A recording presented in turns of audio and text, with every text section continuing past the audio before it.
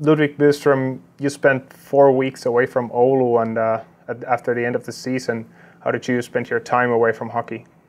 Uh, a lot of time spending with the family. Always playoff time. It's a lot of time away from from the wife and the kids, and uh, the wife get to do a lot of a lot of hard work and uh, at home with the kids. So uh, just a lot of time with the family and uh, seeing friends and family from back home. So that's pretty much what I've been doing. Your family's been building a new home in Örnsköldsvik. Uh, how's the construction going there? Uh, it's going good. We've been uh, we moved in about a week and a half ago, so uh, it's a little bit more downtime now. Everything's finished? No. Uh, downstairs is pretty much finished. Uh, got some work on the upstairs still, but pretty much. How did it feel to return to Oulu now and see the team again? Uh, it's great. I mean, new players, new faces. Uh, obviously, fairly new coach. Uh, so it's it's been good to to meet all the new guys and uh, the new faces and get to know them a little bit, uh, which is fun and uh, good to be back in the city too and uh, see what I see all the new construction that's been going up here too. It's it's pretty unbelievable how much they're building here right now. Last uh, season had a bitter ending for you guys, an overtime loss in, in Game Seven against Ilves.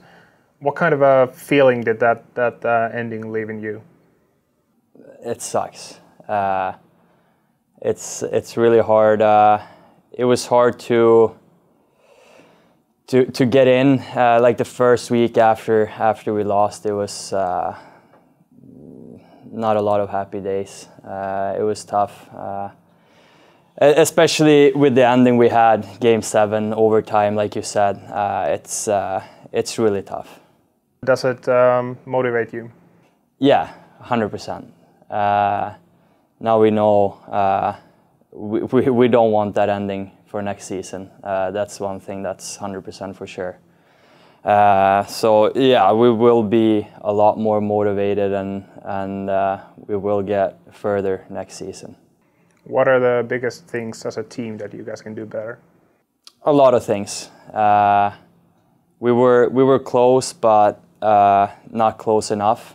I think overall, Ilves was the stronger team in, in the playoffs. Uh, I think we have a lot of things to work on especially we, we brought in a lot of new players uh, late in the year. Uh, I think uh, we can can get to know the whole group from the start this year and uh, uh, and build off of that and get get some more structure and and in in our game. I feel like that's that's the biggest things for us for next season and and to have that bitter taste in our mouth from from last season, I think that's that's only going to help us for next year. What kind of things can you players do to to make the team tighter and then build the right uh, right way right from the start here? I think this is good what we're doing now. Uh, everyone who's under contract uh, is is here now, and we will.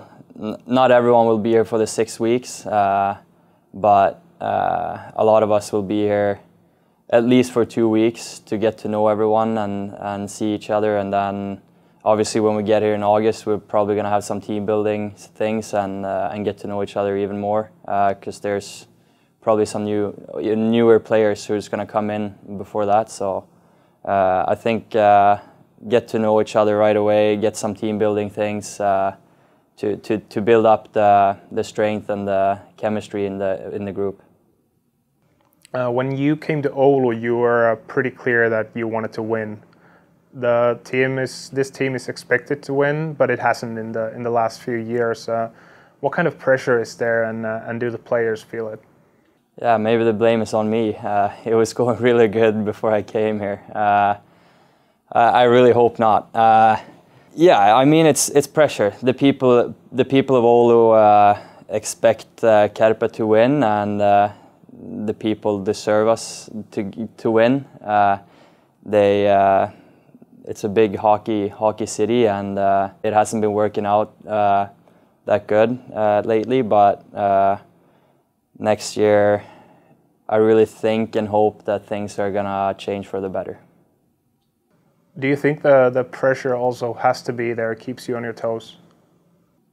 Yeah, I mean pressure in the right way, 100%. Uh, we all know what the team, the the club, the city expects and wants. Uh, but also you can't be thinking about that too much. You need to enjoy it and uh, and have fun on the ice. And uh, uh, so yeah, pressure in the right way is never something bad. I think.